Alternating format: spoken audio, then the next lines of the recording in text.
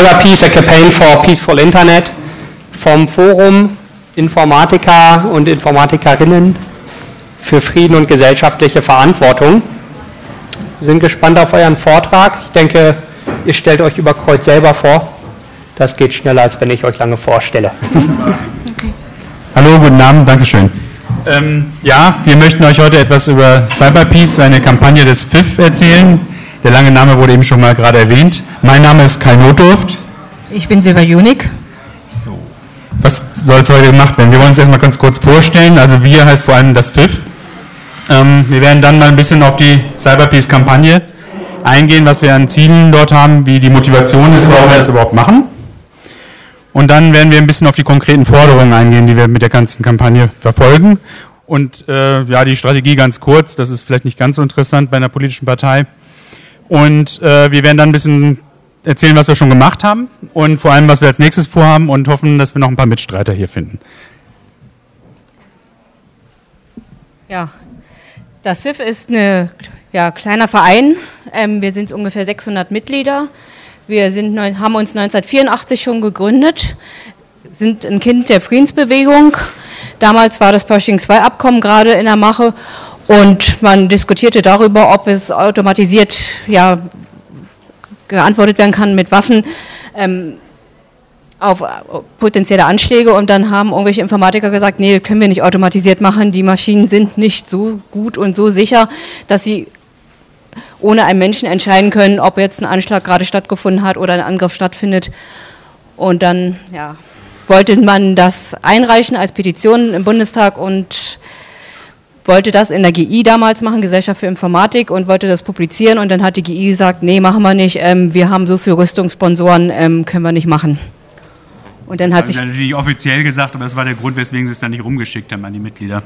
Und dann haben die halt gesagt, haben wir halt gesagt, okay, wenn ihr das nicht veröffentlicht, dann machen wir halt einen eigenen Verein und seitdem gibt es das FIF. Ja, das Thema ist nach wie vor aktuell, hat sich ein bisschen verändert, aber eigentlich hat sich nichts geändert. Wie gesagt, ich bin Silber Jonik, ich bin Mitglied des Vorstands und bin ansonsten selbstständige Beraterin für IT-Sicherheit. Und Kai darf nochmal selbst sagen, wer er ist. Ja, also Kai Notdurft, ich bin auch Informatiker und ich arbeite in einem größeren deutschen Versicherungskonzern als Information Security Officer, also auch IT-Sicherheit. Ja, ganz kurz, wir wollen auf, auf, die Kampagne des FIF eingehen, auf die Cyberpeace-Kampagne. Ihr seht unser tolles Logo, das hat eine Bekannte von uns entworfen. Susanne Grabisch, kann mich auch mal erwähnen, ist ein ganz tolles Logo. Und wir haben inzwischen auch ein paar Kampagnenpartner gewonnen. Äh, die Stiftung Bridge unterstützt uns und fördert uns. Ähm, wer die kennt, die machen so ganz viele netzpolitische äh, Projekte, dass die das mit fördern. Digital Courage hat schon sehr viel Geld von denen gekriegt, wir noch nicht so viel. Campact ist dabei, die haben uns inzwischen auch Geld gegeben. Auch dafür vielen Dank. Und wir haben einige Leute, die inhaltlich unsere Arbeit mit unterstützen, der Chaos Computer Club. Die haben die haben auch Geld gegeben ja, für die Tagung. Oh, danke, gut, dass du es sagst. Ich habe ja vergessen. äh, von, die mit der HU arbeiten wir sowieso sehr lange schon zusammen und auch mit dem äh, Datenschutzverein mit der DVD. Ja. ja. Ja, langfristige Ziele dieser Kampagne sind vor allen Dingen die Ächtung ja, der Cyberkriegsführung und wir wollen die ausschließlich friedliche Nutzung von ja, IT-Systemen und dem Internet wir wollen vor allen Dingen auch Schutz vor militärischen und politischen Missbrauch der IT, der ja gerade allumfassend stattfindet.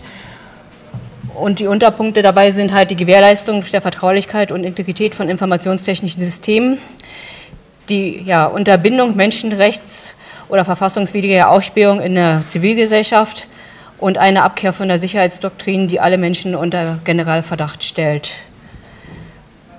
Kurzfristige Ziele sind, wir wollen Rüstungskontrollbestimmungen für offensive Cyberwaffen oder D-Waffen, wie man sie auch so schön nennen kann, weil es gibt ja ABC-Waffen schon, also gibt es jetzt digitale Waffen, sind dann die D-Waffen. Und von Überwachungstechnologie. Wir wollen nationalen Verzicht erreichen auf Entwicklung und Einsatz offensiver Cyberwaffen. Wir wollen also nicht, wie die Bundesregierung es vorhat, Schwachstellen ja, aufzukaufen, um halt aktiv Cyberwaffen zu bauen, sondern wir sagen ganz klar, diese Art, Art und Weise von ja, Sicherheitspolitik ist Bullshit. Ähm, wir wollen vor allen Dingen deshalb eine Veröffentlichungspflicht von IT-Sicherheitsschwachstellen. insbesondere für staatliche Stellen und Unternehmen ja, erwirken. Das heißt also, die Meldepflicht, die jetzt im IT-Sicherheitsgesetz gefordert wird, reicht nicht aus. Es muss nicht nur eine Meldepflicht geben, sondern es muss auch eine Veröffentlichungspflicht geben. Und wir wollen eine gesetzliche Verankerung von aufspielsicherer und menschenrechtsfreundlicher Kommunikationsstrukturen statt Scheinlösungen wie, IT, wie, wie die E-Mail. Gut, wir haben ja gesagt, wir wollen noch ein bisschen was zur Motivation sagen, das sind dann die Ziele. Mhm wir sind, ähm, wir sind der Meinung, dass, ähm, dass der Cyberkrieg oder die Kriegsführung mit, mit Computern, sagen wir mal so, ähm, dass die mehrere Bedrohungen darstellt, die sehr elementar sind für die, für die Menschheit. Das eine Thema ist das, was wir mit dem Snowden-Skandal jetzt ganz brühwarm auf den Tisch gekriegt haben, letztes Jahr oder vorletztes Jahr, ähm, dass letztendlich eine Massenausspähung stattfindet. Und wir sagen, diese Massenausspähung äh, ist letztendlich eine Vorstufe, weil die, äh, die Cyberkriegsführung praktisch das braucht. Ja? Da kommen wir gleich noch ein bisschen genauer drauf. Die baut auf diese Überwachung und auf die Ausspähung, auf die Massenausspähung auf. Hm, das zweite Thema ist, dass wir natürlich in einer Informationsgesellschaft leben und wir von einer funktionierenden IT abhängig sind. Wir haben jetzt hier auch so ein bisschen den Talk kritische Infrastrukturen oder diesen, diesen Slot hier. Und das ist natürlich ein ganz besonders heißes Thema, wenn man sagt, das wird alles inzwischen mit Computern gesteuert. Und wir haben hier möglicherweise irgendwelche Cyberkrieger, die anfangen, sich da reinzuhacken und diese Sachen kaputt zu machen oder zu schwächen. Mhm. Wenn man sich jetzt den Snowden-Skandal anguckt oder diese Sachen, die da rausgekommen sind, wir reden hier davon, dass Kryptoverfahren geschwächt werden. Wir reden davon, dass Backdoors in Systeme eingebaut werden, dass natürlich Schwachstellen geheim gehalten werden, um sie militärisch ausnutzen zu können. Und das gefährdet natürlich auch diese Infrastrukturen, von denen wir abhängig sind. Und auch alle Systeme, die wir privat und sonst wo in der Firma nutzen. Wir haben weitere Bedrohungen, das ist jetzt eher so diese friedenspolitische oder militärstrategische Sichtweise auf das ganze Thema. Wir haben eine Rüstungsspirale, die in Gang gesetzt wird. Also alle, es gibt, ich glaube, 150 Staaten oder so, die inzwischen eigene Cyber-Einheiten in ihren jeweiligen Armeen aufbauen. Das muss man sich mal vorstellen. Ähm, wir haben da eine Rüstungsspirale und wir haben irgendwo auch so ein Absenken der Hemmschwelle in kriegerische Aktionen einzusteigen. Das hat wiederum zwei Ursachen. Das eine ist, dieses Attributierungsproblem, was wir äh, bei IT-Angriffen haben. Das heißt, man weiß gar nicht so genau, wo das wirklich herkommt. Es gibt dann vielleicht Hinweise, die man so ein bisschen sehen kann, aber so richtig wie eine Rakete, die fliegt und die ist da gestartet und da irgendwo gelandet, ist das bei, leider bei so einer Hacking-Attacke nicht. Man nutzt dann natürlich irgendwo einen übernommenen anderen Rechner als Bot und greift von da aus an. Also man kann das nicht so genau nachvollziehen, wo das herkommt. Das ist so das Problem, dass es sozusagen sehr attraktiv macht, sowas einzusetzen, weil ich gar nicht so richtig belangt werden kann dafür. Ja, und es ist natürlich auch so, dass es sehr stark unterstützend ist und auch relativ billig ist. Ich muss meine Soldaten irgendwo hinschicken, das ist auch noch ganz klasse. Mhm. Es ist eben ein integraler Bestandteil moderner Kriegsführung. Die Militärs reden auch von der vierten Dimension, nach, also Land, See, Luftstreitkräfte ist, und, und, Weltraum ist die fünfte, ist es inzwischen genau, ist dann auch der Cyberspace.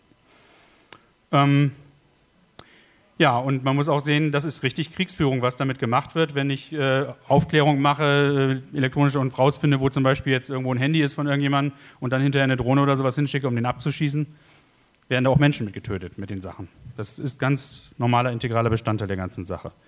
Und was das Allerschlimmste ist, dass unsere eigene Bundesregierung gerne mitspielen möchte und man sieht es an ganz, ganz vielen kleinen tagespolitischen Entscheidungen, die das Rad in diese Richtung stellen, dass man immer mehr auch in diesen Kreis reinkommt. Der BND wird angewiesen, Schwachstellen zu kaufen. Ähm, wir haben ein bestimmtes Sicherheitsgesetz, was sehr interessante Sachen macht. Krypto-Diskussionen, die jetzt im Moment aktuell auf dem Tisch sind von unserem Innenminister. Ich glaube, das wisst ihr alle selber besser als ich.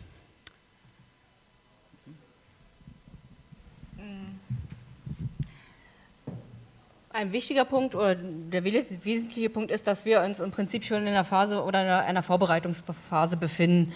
Das heißt also, die ganzen Überwachungssysteme, die wir jetzt kennen oder kennengelernt haben, werden massiv dazu eingesetzt, also zum Überwachen, aber auch um Schwachstellen von Computersystemen zu erkennen und damit ähm, automatisiert, hast du eigentlich ein bisschen schon erzählt, ja, Angriffsmöglichkeiten auszuloten. Ähm, hast was erzählt, was da steht. Nee, das ist schon ein bisschen ausführlich. Mm, gut, ähm, ja.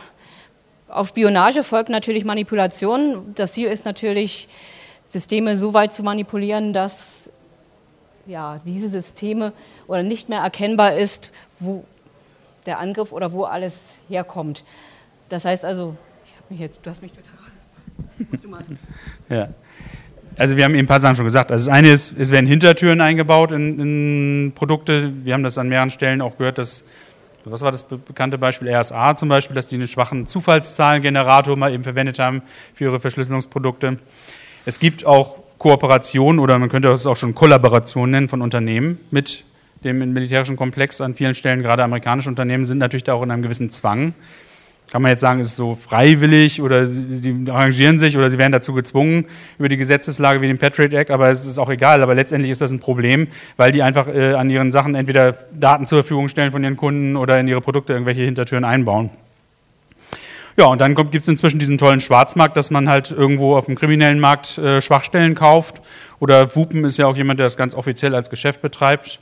Also man darf sowas sogar legal machen interessant. Also bei Wupen ist noch ganz interessant, dass denen es ja jetzt nicht mehr schnell genug geht. Also Wupen ist ein Sicherheitstechnologieunternehmen in Frankreich und die forschen nach Sicherheitsschwachstellen, die sie dann an Geheimdienste bzw. an Regierungen und so weiter und andere verkaufen. Also offiziell natürlich nur an die Guten, aber letztendlich lässt sich das kaum kontrollieren.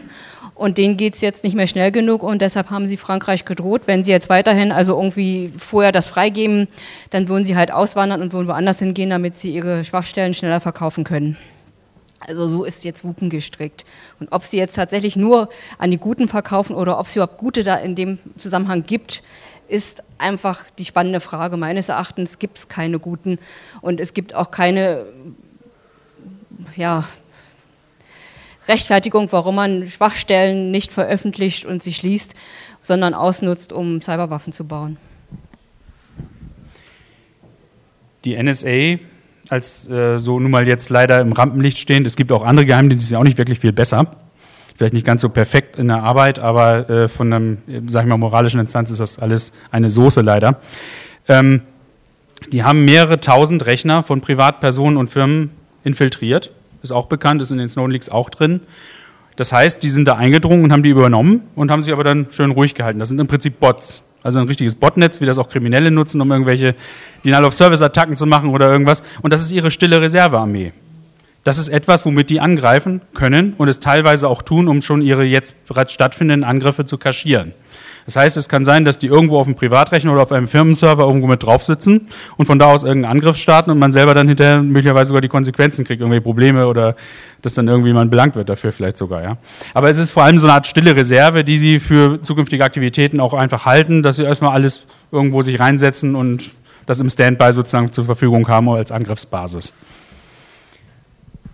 Ja, und ja, genau. ja, zusammenfassend kann man einfach ganz klar halt sagen, zum einen werden wir ja, vollumfänglich überwacht und zum anderen wird mit der gesamten Politik im Prinzip die Infrastruktur derart geschwächt, dass auch kritische Infrastrukturen, also von denen wir abhängig sind, wie Strom, Gas, Wasser und so weiter, im Prinzip Spielball von irgendwelchen Geheimdiensten und militärischen Einheiten sind.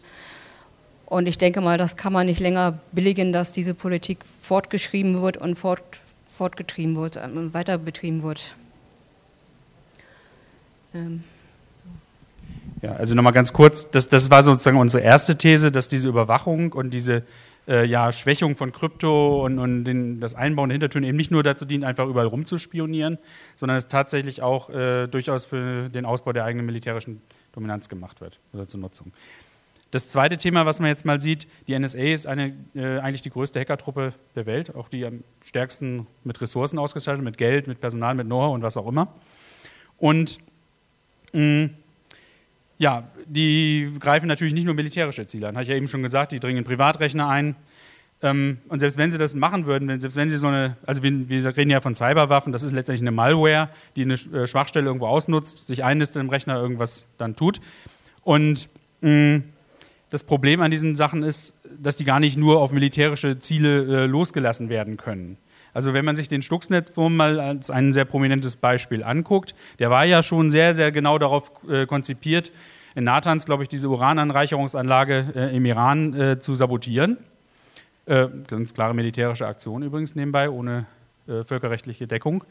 Ähm, und Das Ding ist aber deswegen eigentlich uns nur bekannt, weil es ausgebrochen ist, weil es irgendwann auf einmal auf anderen Rechnern aufgetaucht ist und nicht nur in Nathans da im Kreis herumgezogen ist. Und das zeigt schon sehr schön, dass, dass diese Dinge ein hohes Risiko auch für die nicht militärischen Ziele darstellen. Dann, äh, genau, man sollte auch klar sagen, wenn, wenn ich so eine Cyberwaffe einsetze und da irgendwo sowas angreife, das ist eine Kriegshandlung. Das ist, äh, wenn ich das als Staat mache, ist das völkerrechtlich eigentlich ein Angriff. Ich sabotiere, ich mache ja irgendwas kaputt. Hm. Was haben wir dann noch so? Genau, achso, ja. Ähm, die ganzen Sachen sind natürlich immer ein Beiwerk, auch wenn ich einen allgemeinen Krieg führe. Es wurde mehrfach schon überlegt, äh, Dinge einzusetzen als Begleitmusik, zum Beispiel als es damals darum ging, dass die äh, USA den, den Osama bin Laden da mit dieser Taskforce angreifen wollten, hatte man überlegt, ob man entsprechende Flugabwehr in, in Pakistan einfach elektronisch stört und das Ganze äh, einfacher zu machen. Oder auch in Syrien wurde das diskutiert, es wurde ja nicht gemacht, weil man so ein bisschen Angst hatte, offiziell in solchen Konflikten das als erster zu machen. Aber wie gesagt, dann hat man gemerkt, im Verborgenen passierte sowas durchaus schon. Mhm. Aber eben nicht so im Rahmen eines offiziellen Konflikts, weil es eben dann natürlich sehr klar ist, wo es kommt es eigentlich her und wer hat es gemacht. Äh, es gibt auch Übungen. Wir hatten in letzter, wann war das, vor einem halben Jahr oder so, ist in Österreich die zivile Luftsicherheit ausgefallen. Das zufälligerweise war in der Nähe eine NATO-Übung, wo man genau sowas geübt hat. Sie haben es nicht ganz offiziell zugegeben, dass sie es waren, aber es ist sehr naheliegend. Mhm. Ja, dann eins muss man auch ganz klar sehen, dass diese Dinge eben Menschenleben kosten, haben wir vorhin auch schon mal erwähnt. Die Drohnenangriffe werden über elektronische Aufklärung, über Ortung von Zivilgeräten, von Handys und ähnlichen Sachen, Rückverfolgung möglicherweise auch von Satellitenverbindungen, werden die Zielpersonen geortet, werden Daten weitergegeben, werden geguckt, wo die sind und wo sie sich aufhalten, wird ausgewertet mit der Spionage und dann wird die Drohne losgeschickt. Und dann ist jemand tot. Und meistens sind es nicht nur die einzelnen Leute, die man da gerade im Visier hatte, sondern noch auch viele Zivilisten und Kinder, die da mit dabei sind. Also das zeigt auch schon, dass dieser Cyberwarfare nicht unbedingt ein sauberer Krieg ist, wie das immer so gerne verkauft wird, wo ja nichts groß passiert und da werden vielleicht ein paar Computer kaputt gemacht, sondern da sterben Menschen. Und nicht unbedingt nur die offiziellen Gegner. Hm, da muss man auch eine Sache dazu sagen, moralisch ist es auch so, ohne ein Gerichtsverfahren jemanden zum Tode zu verurteilen und so eine Drohne dahin zu schicken und ihn hinzurichten. Ja, ich sag mal, es ist hinterhältig, es ist gewalttätig, also eigentlich nach deutschem Strafrecht ist das Mord. Ja, das Attributierungsproblem hatten wir auch schon mal erzählt. Es ist halt nicht so ganz einfach. Hm? Ah, okay, dann lassen wir das mal aus, hatten wir eben auch schon erwähnt. So. Ja, Forderungen. Wir haben Kernforderungen. Das ist die erste ist natürlich das Beenden der umfassenden Überwachung. Die wesentlichste Forderung, weil sie im Prinzip die Basis dafür ist, dass der Cyberkrieg stattfinden kann, dass die Leute unterdrückt werden oder nicht mehr unterdrückt werden, ist die Voraussetzung für Cyberpeace dann. Ähm, Verzicht auf Entwicklung und Einsatz offensiver Cyberwaffen und Rüstungskontrollbestimmungen für Cyberwaffen und Überwachungstechnologien. Das ist ein wesentlicher Punkt, weil letztendlich momentan das zweite Ziel natürlich erstmal Rüstungskontrollbestimmungen und auch ja, Kontrolle zu haben, erstmal der naheliegendste Schritt ist, weil man kann sie nicht schnipp einfach abschaffen oder sagen, sie sind weg, auch wenn, auch wenn es unser Wunsch ist. Ähm, wir brauchen, in, brauchen wirkungsvolle Maßnahmen zum Schutz der zivilen Informationsgesellschaft. Ähm, dabei ist man vor allen Dingen darauf angewiesen, dass man international miteinander ja, kooperiert und, und bei Cyberangriffen halt nachschaut, wer es ist gewesen. Also Attributierung, haben wir schon erzählt, ist, ist ein Problem und ist momentan nicht auflösbar und kann aber auch nicht von einem einzelnen Staat gelöst werden. Das heißt also, ich meine, wenn die USA irgendeinen Täter sucht, dann ist es halt immer China, sage ich mal, oder die Russen oder sonst was. Was anderes kommt gar nicht vor. Wenn es die Amis selber waren, die sich selbst angegriffen haben, weil sie sich halt irgendwie, ich sage mal, in Shanghai oder irgendwo sonst wo in China irgendwie sich niedergelassen haben und von dort aus angegriffen haben, kann man das erstmal nicht nachweisen, vor allen Dingen nicht dann, wenn die USA es allein untersucht. Ähm, es ist erforderlich, dass es eine Veröffentlichungspflicht von IT-Sicherheitsschwachstellen geben muss. Also nicht nur melden, sondern auch veröffentlichen. Also heutzutage der Status quo ist auch, wenn man in Unternehmen, ich sage mal, Penetration-Tests macht und irgendwelche Schwachstellen findet, muss man teilweise den Firmen, die man untersucht, versichern, dass man das nicht publik macht. Also auch selbst, wenn sie es nicht entfernen wollen. weil ansonsten würde man einen Wahnsinnsrechtsstreit an der Backe haben und das wäre dann zurzeit ein Problem. Würde es eine gesetzliche Veröffentlichungspflicht geben, dann müssten sich die Unternehmen dem unterwerfen und müssten das, wenn sie in Deutschland ihr Produkt vertreiben wollten, im Prinzip dazu stehen und müssten es veröffentlichen. Willst du was sagen? Einen ganz kurzen Kommentar. Äh, wenn man eine Schwachstelle veröffentlicht, also irgendwo ein, ein, etwas, was man gefunden hat, wirklich aufmacht, dann entschärft man damit die Nutzung als Cyberwaffe. Das geht nicht mehr. Also ich, natürlich kann ich es immer noch in eine Malware einbauen und, und Leute, die ihr System nicht patchen, kann ich damit auch noch angreifen. Aber ich sage mal, das Risiko sinkt also gleich um Faktor 20, 30, 40 nach unten. Weil dann kann man was dagegen tun, dann kann man das System schützen, dann kann man äh, äh, sich äh, entsprechend dagegen wappnen und die, die Sachen absichern. Solange es unbekannt ist, ist es halt relativ schwierig. Also deswegen ist das sozusagen die beste Form, äh, Waffen sozusagen zu entschärfen, also Cyberwaffen zu entschärfen, ist einfach Schwachstellen zu veröffentlichen, die genutzt werden von diesen Waffen. Ja, und die letzte Kernforderung ist halt eine angemessene Ausstattung ziviler Einrichtungen zum Schutz von IT-Infrastrukturen. Zurzeit wird im Prinzip eigentlich das Gegenteil getan. Man schwächt die Systeme, damit man halt irgendwie per Geheimdienst oder Sicherheitsbehörde halt darauf zugreifen kann und mal gucken kann, was machen die da eigentlich. Aber im Grunde genommen müsste man genau das Gegenteil tun. Man müsste sehen, dass die Systeme halt so sicher sind, dass im Prinzip keiner dort unberechtigt einbrechen kann.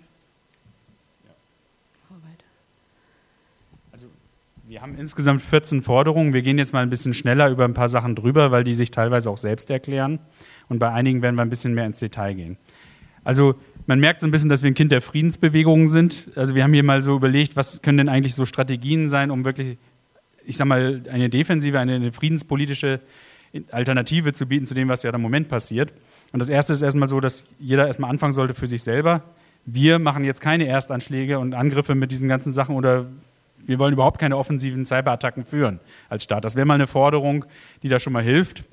Und das äh, geht auch so in dieses zweite rüber, dass es eine äh, rein defensive Sicherheitsstrategie gibt. Also nicht das, was die Bundesregierung macht, dass man im Moment irgendwo bei der Bundeswehr eine Cyber-Hacker-Truppe da aufbaut, die halt versucht, da irgendwo reinzukommen mit mehr oder weniger mit großem Erfolg. Man weiß es ja noch nicht so genau.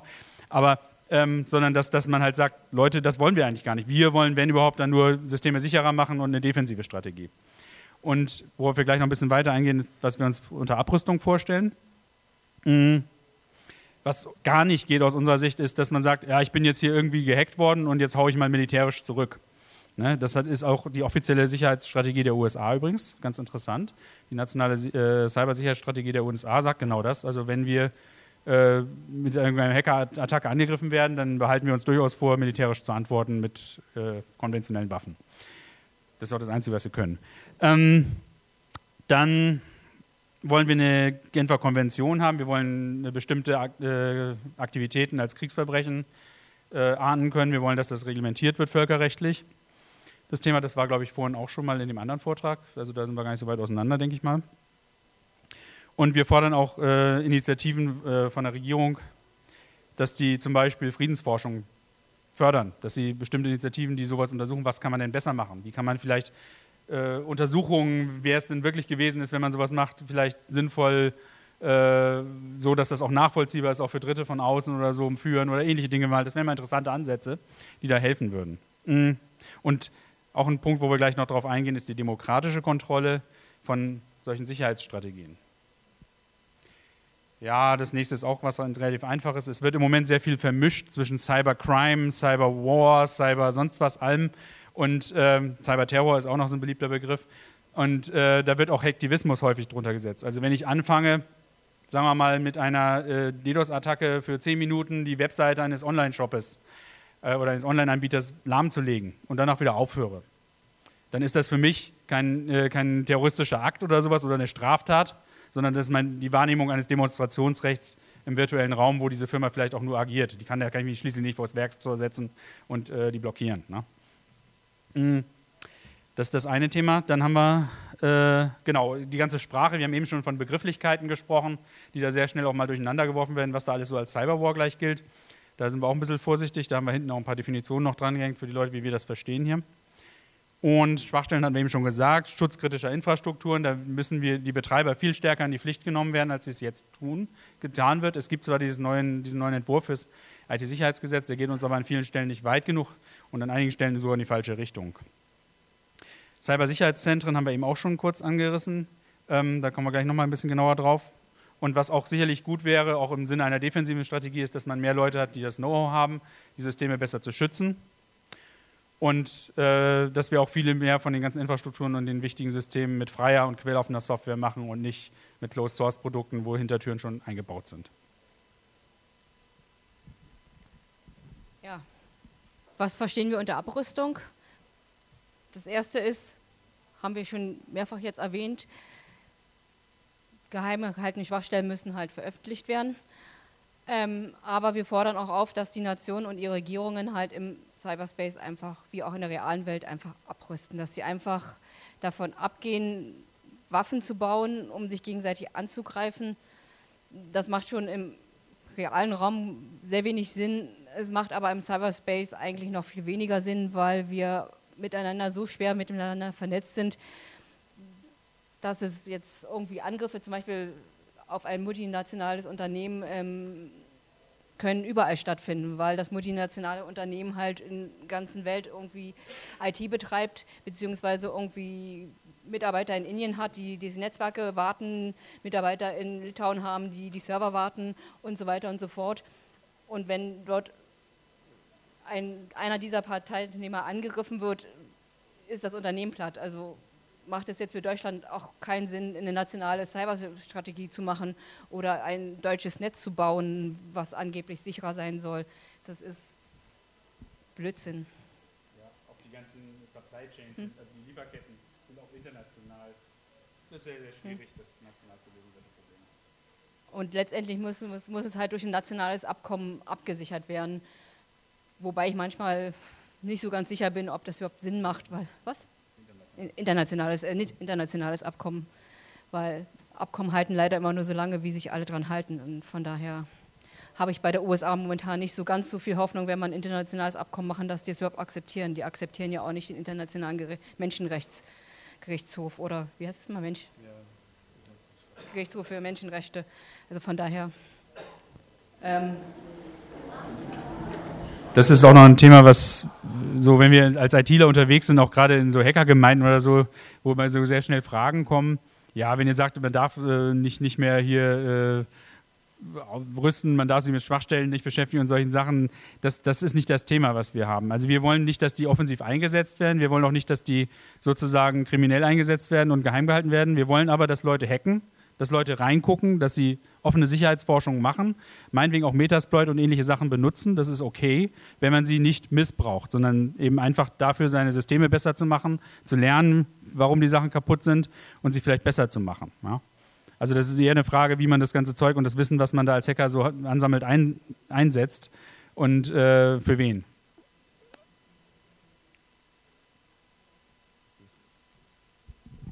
Wir müssen langsam ein bisschen schneller reden ähm, oder schneller durchgehen. Ähm, ja, demokratische Kontrolle. Also momentan ist der Status quo, dass sich die Bundesregierung von BND ähm, beraten lässt oder halt irgendwie so tolle Unternehmen im, als Berater hat wie CSC, die im Prinzip als NSA-Kollaborateur bekannt sind und letztendlich die Bundesregierung die letzten Jahre in allen Themen, die sie jemals groß angegangen sind, irgendwie schlecht beraten haben. Sei es der Bundestrojaner, sei es der elektronische Personalausweis oder aber auch, ähm, jetzt fällt mir das dritte nicht ein, egal, ja. ähm, die E-Mail.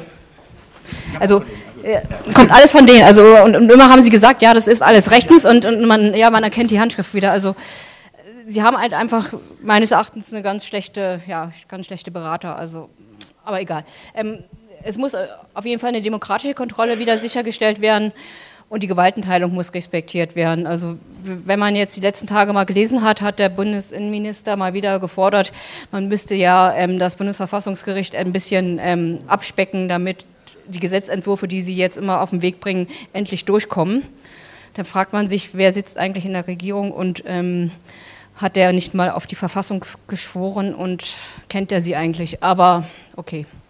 Ähm, ein ganz wesentlicher Punkt ist, wir brauchen Cybersicherheitszentren und zwar statt des BSI, das leider auch ganz eng verknüpft mit der NSA ist. Da gibt es alte ja, Seilschaften, die noch aus Zeiten stammen, wo noch das BSI oder zum BND gehörte und da in der Schriftfraktion saß und ganz enge ja, Verknüpfungen bestanden. Die bestehen natürlich weiterhin noch und damit halte ich sie nicht für kompetent genug, um den Bürger vor irgendwelchen ja, Sachen. Kompetent schon, aber nicht unabhängig. Nicht unabhängig genug, um sie zu schützen. Äh, es muss eine Behörde sein, die auf keinen Fall dem Bundesinnenministerium untersteht, sondern unabhängig ist. Und ähm, sie muss konsequenterweise konsequent auf Frieden ausgerichtet sein. Und das Trennungsgebot natürlich von Polizei, Geheimdiensten und Militär muss konsequent umgesetzt werden. Ja, wie wollen wir die Ziele erreichen? Ja, also ganz kurz, es geht darum, wir, wir haben ja die Kampagne gestartet, wir wollen natürlich Mitstreiter gewinnen und wir wollen Druck auf die Politik ausüben und äh, wollen sozusagen mehr Leute dafür gewinnen, dass das Thema offensichtlich relevant ist für uns, äh, für die Gesellschaft, für alle, eben nicht nur für die IT-Freaks, die sich mit diesen Themen doch relativ häufig beschäftigen. Das muss uns gelingen. Mhm. Ja, braucht man jetzt gar nicht mehr viel zu sagen. Äh, wir machen da schon eine ganze Menge Dinge. Wir haben eine Kickoff-Veranstaltung letztes Jahr in Berlin gemacht. Da gab es eine riesen Tagung vom FIF zusammen mit dem Chaos Computer Club. Äh, da waren über 500 Leute da. In dem Rahmen haben wir ein schönes St. Martins-Singen gemacht. Wir sind zur BND-Zentrale gezogen mit selbstgebastelten Laternen und haben ein paar Friedenslieder dort gesungen. Kann man sich auch anhören. Machen wir jetzt aber nicht, weil wir nicht so viel Zeit haben. Genau, das Motto der, der, dieser Aktion war, wir bringen Licht ins Dunkel. Mhm. Genau.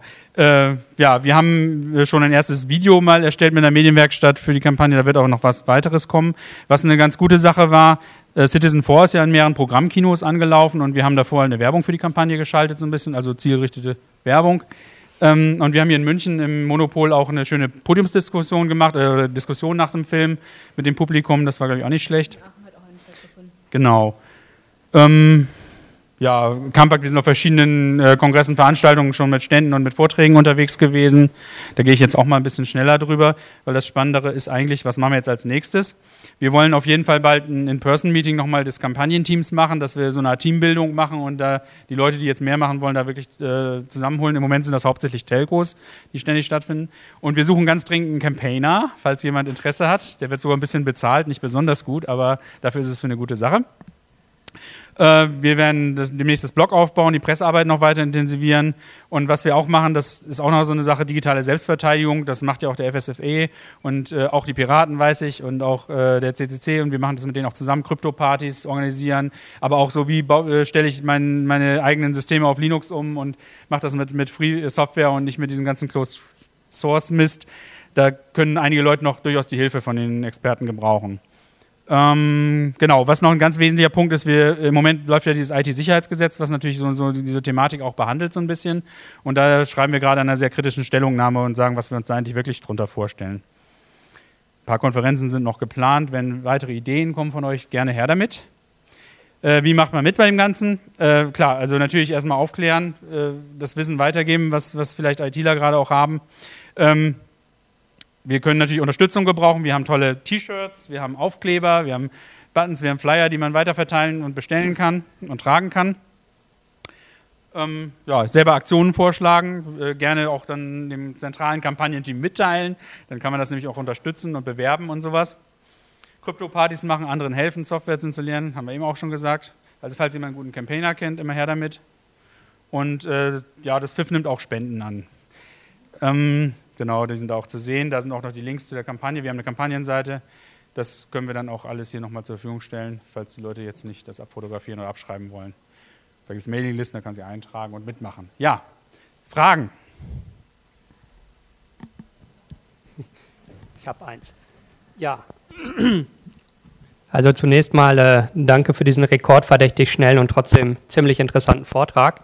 Ich muss sagen, mir ist euer tolles Logo erst heute aufgefallen. Man merkt auf Maillisten, äh, ohne HTML-Mails sieht man ja immer nur eure Signatur und nicht die hübschen Logos.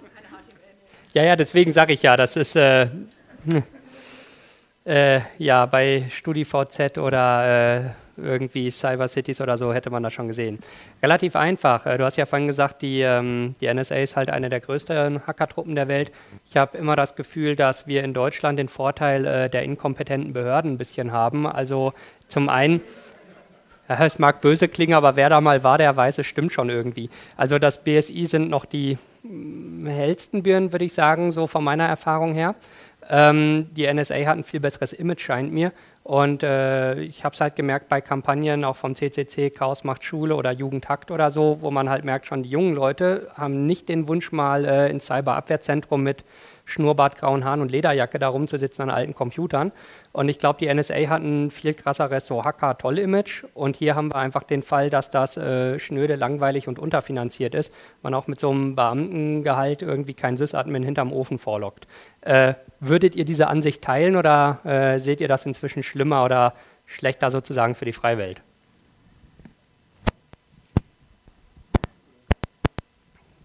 Ja, ich bin da ein bisschen gespalten. Also ich meine, sie sind sicherlich in Teilen inkompetent. Also die BSI-Leute sind wirklich nicht schlecht. Mhm. Also die haben auch wirklich, das muss man mal ganz schnell halt sagen. Aber sie wenden es leider auch nicht immer für das Gute an. Und da ist eigentlich das Problem drin, dass die wenigen, die vielleicht noch gut sind, nicht unbedingt auf der richtigen Seite stehen. Also deshalb bin ich auch der Auffassung, dass das jetzt irgendwie das BSI für Bürger also irgendwie ist nicht ehrlich. Das ist irgendwie verschlagen. Und die anderen Abwehrzentren werden ja teilweise erst aufgebaut und man hat so ein, es gibt so ein Behördenwort dafür, so ein Anfangs, ähm, wie kann man, Sie können anfangs ähm, fertig oder so ähnlich. Es gibt ein ganz komisches Wort dafür, also Sie, Sie können einsatzbereit. einsatzbereit, sind jetzt halt jetzt einsatzbereit, aber das heißt, dass Sie einen Computer dort stehen haben und ja. und kann. Also es ist so, es gibt in Deutschland eine etwas andere Kultur als, glaube ich, in den USA, wo das Militär sehr viel stärker in Schulen aktiv ist, reingeht, die Leute dort abwirbt, direkt die Informatikstudierenden irgendwo aus den Unis rauszieht und ähnliches. Ähm, das ist in Deutschland ein bisschen anders. Äh, wir haben eben solche Institutionen wie den Chaos Computer Club, der seit 30 Jahren eine Gegenwerbung in eine andere Richtung macht, wie man IT auch anders machen kann. Das ist so ein Thema. Und da fehlen denen tatsächlich manchmal die guten Leute und das finde ich auch gut so. Trotzdem, was gefährlich ist bei unseren Diensten, das vergisst man immer sehr schnell, die sind ja letztendlich Handlanger und Mitarbeiter bei denen. Also die, die arbeiten ganz eng mit der zusammen, der BND zum Beispiel. Das ist ja eigentlich nur eine Außenstelle von denen. Also in den neuen Papieren steht auch eindeutig drin, dass zum Beispiel ein Issue von dem BND ist, halt die Bundesregierung davon zu überzeugen, dass man das jetzt mit den Datenschutzgesetzen nicht so eng sehen soll, dass es besser ist, also wenn man die vernachlässigt und mit ja, anderen Geheimdiensten kooperiert. Also wenn man die Dokumente mal genauer liest, findet man da ganz viele Issues, so, die darauf hindeuten, dass die Kooperation sehr eng ist mit der NSA und dass auch das Ziel ist, die Bundesregierung natürlich da in die richtige Richtung zu drängen. Ähm, dann bräuchten wir noch ein Mikrofon. Ne, das braucht ihr ja da oben. Behalt das ruhig mal dann geht es hinten los und dann arbeiten wir uns langsam nach Meine vorne. Meine Frage an euch ist, wie äh, weit seid ihr international vernetzt? Also geht das hauptsächlich über den äh, CCC oder habt ihr auch äh, Kontakte zu anderen Ländern? Weil das ist natürlich ein internationales Thema, globales Thema, das ist klar. Deswegen ähm, gibt es natürlich auch in anderen europäischen Ländern ähnliche Initiativen. Es würde sich doch sicherlich lohnen, also über auch eure Vernetzung ein, zwei Worte zu sagen. Also das PIF ist erstmal ein deutscher Verein. Ähm, das, äh, wir, wir haben natürlich äh, auch im deutschsprachigen Nachbarland, in der Schweiz und in Österreich Mitglieder. Wir haben auch teilweise im Ausland welche, die ein bisschen weiter weg sind, sogar Amerikaner, aber das sind sehr wenige. Vernetzt sind wir auf der europäischen Ebene. Wir sind Mitglied bei EDRI, European Digital Rights, und sind auch ziemlich aktiv. Äh, ja, bei EDRI jetzt weniger, aber in dieser ganzen Bürgerrechtsthematik, da vernetzen wir uns. Wir haben, waren zum Beispiel mit dem Thema auch bei der Freedom Not 4 in Brüssel, da war der Stefan Hügel, unser Vorsitzender, auch da und hat da einen Vortrag zugehalten. Also das passiert schon. Und wir planen auch eine Konferenz in Wien. Das ist natürlich nur bedingt Ausland, sage ich mal aus deutscher Sicht gesehen, aber ähm, immerhin. Ja, naja, also es ist halt so immer der Kulturraum immer noch. Ne? Das wollte ich jetzt natürlich nicht gemeint haben. nee, aber also jetzt äh, im Sinne von international vernetzen wirklich andere, also da ist immer diese Sprachbarriere, die sind Auch ein bisschen da, aber nicht ganz so stark. Und von daher ist das Thema immer noch so, wir haben die Folien auch alle, ähm, nicht alle, aber wir haben auch einen Folienvortrag auf Englisch auf unserer Seite. Wir haben auch äh, den Flyer, der so ein bisschen die Kampagne weitertragen soll auf Englisch bereits und halten manchmal auch die Vorträge auf Englisch. Haben wir jetzt heute nicht gemacht, weil wir das nicht so richtig geschnallt haben, dass wir es hätten machen sollen. Ähm, ja, also wir sind da offen für Kooperationen. Wir haben als äh, eher so im Datenschutzbereich auch sehr viel international schon kooperiert. Jetzt bei dem Thema fangen wir erst an. Wir sind natürlich in der Friedensbewegung vernetzt und da gibt es natürlich teilweise auch Auslandskontakte. Mit der IFF. Free Software Foundation äh, arbeitet jemand bei uns im Team mit. Der IFF, ah, oder? Der IFF. Ah, ja. IFF äh, bestehen nur, nur informelle Kontakte im Moment. Wäre aber mal interessant, das weiter zu forcieren, ja. Ähm, wie sieht das aus? An? Ja. ja. gut. Ähm, wie sieht das aus mit ähm, dem, ähm, ja, mit, mit Cybersicherheit? Da wird ja ähm, in, momentan in, dem, in, der Gesetzgebung wird ja sehr auf ähm, Abwehr nur von Angriffen von staatlichen Akteuren geachtet, mehr oder weniger. Oder ist so angedacht, wäre es nicht eigentlich sinnvoll, man würde eine Förderung fordern ähm, oder eine Sicherheitsüberprüfung für Open Source Software, um sowas wie diesen Heartbeat-Bug zu verhindern, damit man damit wirklich eine Sicherheit und zwar für alle herstellen könnte. Ist eine unserer Themen, wir sind jetzt nicht auf alle Sachen eingegangen, die wir so fordern, aber auch Förderung von Open Source von Open Source Audits und, und, und äh, Code Reviews, klar, das gehört natürlich auch dazu. Ich hatte ein bisschen von Friedensforschung erwähnt, aber solche Sachen sind natürlich auch ganz wichtig, dass solche Dinge gefördert werden, dass man vielleicht sogar sagt, was sind denn wichtige, äh, ich sag mal, Self-Defense-Strukturen. Es gab ja mal den Ansatz immerhin, dass GNU-PG mal gefördert wurde staatlicherseits. Das ist ja auch eines der wenigen Sachen, die erstaunlicherweise noch halten. Ähm, also von daher, das ist ein guter Ansatz und der sollte weitergetrieben werden. Das ist sicherlich die richtige Richtung, ja. Wir haben auch bei den Vorschlägen zum IT-Sicherheitsgesetz mit drin, dass es halt nicht nur ähm, staatlichen Akteuren möglich sein soll, sich abzuschützen, sondern auch im Prinzip Unternehmen oder auch Privatleute. Da geht es halt auch einfach darum, dass wenn man selber Webseiten betreibt, man im Prinzip eigentlich keinen Schutz haben darf, weil alle Werkzeuge, die man einsetzen könnte, um diese Webseite, ich sage mal, gegen Angriffe zu schützen, sind nämlich verboten also von Unternehmen werden sie teilweise trotzdem einfach eingesetzt, weil die halt sagen, wir müssen halt mal eine Netzwerkanalyse machen und müssen mal schauen, was da eigentlich passiert, um im Prinzip auch eine Vorbereitung eines Cyberangriffs erkennen zu können, muss man es analysieren. Aber ähm, es ist offiziell nach dem Telemediengesetz momentan nicht erlaubt. Und im Prinzip würde man irgendwann mal die Schizophrenie haben, dass man, wenn man einen Angriff meldet oder sagt, bei diesem komischen Meldestelle melden würde, müsste man sich gleichzeitig anzeigen, dass man im Prinzip dafür Werkzeuge benutzt hat, die man eigentlich gar nicht benutzen konnte oder dürfte. Und das ist auch ein Vorschlag, den wir haben für das IT-Sicherheitsgesetz. Also konkret geht es darum, dass manche Werkzeuge zufälligerweise auch IP-Adressen erfassen. Und das ist nach dem Telemediengesetz gar nicht so ohne weiteres erlaubt, nicht anonymisiert und ähnliches. So, wir haben noch, äh, ich sehe noch drei Meldungen, hier, dort und dort. Und äh, wer danach noch, wir fangen eben hier an, dann du dann darüber. Und dann. Äh Astroturfing bei euch ein Thema und äh, wie seht ihr da die praktischen Probleme, wenn das auch nicht unbedingt erwünscht ist, Astroturfing gerade im Zusammenhang mit Online-Protesten eigentlich erlauben? Also Astroturfing, für die, die es nicht kennen, das ist eigentlich, dass man halt die falsche Identitäten annimmt, die gar nicht existieren. Also es wird zum Beispiel halt von gewissen Three-Letter-Agencies von den USA gern gemacht, dass sie äh, zusätzliche Kommentatoren erstellen, die rein virtuelle Persönlichkeiten sind, die aber von wenigen äh, Personen gesteuert sind. Kein Thema bei euch bisher.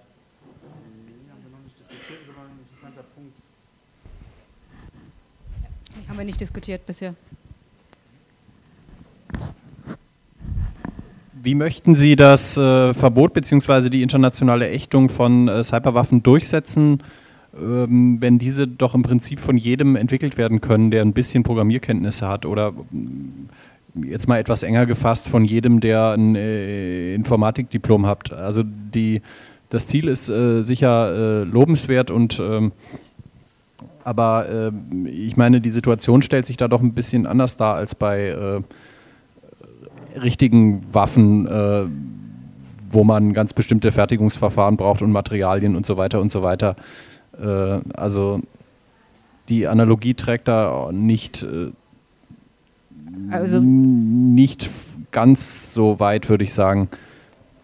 Also das, ein Verbot ist natürlich jetzt ein wirkliches Langfristziel, weil sich das jetzt nach dem technischen Stand nicht umsetzen lässt, weil im Prinzip proprietäre Software nicht sich dazu eignet, um halt sie offen und ja, transparent zu untersuchen. Aber wenn es nur offene und freie Systeme gibt, die man untersuchen kann und die auch untersucht werden, das ist ja noch ein Punkt, der momentan nicht so richtig betrieben wird. Es gibt zwar offene Quellen, offene Software und freie Software, aber sie wird halt nicht in dem Standard teilweise entwickelt, wie es Microsoft oder sonst wie tun, die natürlich ihre Sachen selber auch ganz anders testen können und dadurch im Prinzip selber schützen, indem sie es halt nicht veröffentlichen. Und damit sind natürlich ja, die Möglichkeiten, Schwachstellen dort einzubauen, sehr groß. Einmal können Sie es gleich selber machen oder angeordnet durch die NSA. Und in quellenoffenen Software ist es nicht mehr möglich und dann kann man auch nicht mehr so einfach Waffen bauen. Ja, also sagen wir mal so, es ist zumindest einfacher, äh, Transparenz herzustellen. Wer hat das eigentlich gemacht? Wo kam es her? Wer hat es reingetan? In welcher Version? Das sind schon mal so Dinge, die man da auf jeden Fall verbessern könnte, wenn man auch äh, auf diese freie Software geht. Ähm, es gibt eben auch die Möglichkeit, alles dann zu untersuchen, eben klar, wurde auch schon genannt. Es ist sicherlich ein langer Weg, aber ich glaube trotzdem, dass es sinnvoll ist, mal diesen moralischen Anspruch überhaupt erstmal an die Staaten, an die Politik zu richten. Ey, das ist doch Mist, das solltet ihr nicht wollen. Das solltet ihr einfach nicht wollen. Die, die Politik müsste in eine andere Richtung gehen. Nicht, wie kann ich möglichst gut irgendjemanden erschießen oder so, sondern wie kann ich vernünftige, sichere und verlässliche IT-Systeme für unsere Zukunft bauen. Und wenn man als Politik diesen Anspruch erstmal formuliert, dann wird es schon schwieriger zu sagen, ich fahre bei einer Politik, dass ich Schwachstellen aufkaufe und dafür Steuermittel bereitstelle und ähnliche Dinge mache.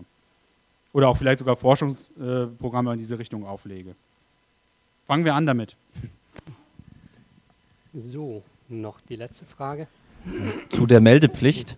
Ähm, zum einen, was, was, für Fehler sollen dann gemeldet werden? Nur die im Betrieb auftauchen, also zum Beispiel Konfigurationsfehler oder auch Softwarefehler im Quellcode selber. Also das ist immer nochmal ein Unterschied. Ne? Ähm, was für ein Typfehler? Also nur schwere Sicherheitslücken oder ja, also gibt ja verschiedene Grade da. Und vor allem, wer soll die, wer soll die Fehler melden? Also kann, muss das dann auch jeder Forscher, der den vielleicht entdeckt oder nur Firmen oder Organisationen? Hätte ich mal so einfach aus Interesse, was ihr dazu sagt. Ähm, ja, also grundsätzlich sind auch, auch, ich sag mal, Programmierfehler, die vielleicht nur Speicher nicht wieder freigeben, den sie allokiert haben, irgendwann ein Denial-of-Service-Problem und können genutzt werden. Ja. Also grundsätzlich würde ich sagen, das ist ja auch der Vorteil, wenn ich, wenn ich sage, ich will möglichst freie und offene Software haben, dann kann ich darüber auch diskutieren, dann kann ich damit überall auch umgehen und das kann auch jeder sehen und nachvollziehen. Also grundsätzlich wird es für, für Robustheit und für, für Fehlerfreiheit ist es wichtig, eigentlich alle Sachen anzugehen, auch besseren Code zu schreiben. Das ist natürlich auch so ein Ding und bessere, ich sag mal, Reviews zu haben und Code-Audits zu haben, die das äh, vernünftig sicherstellen und vielleicht wäre auch sowas wie eine Haftung für Fehler auch mal nochmal ein Thema, wo wir, über das man mal nachdenken könnte.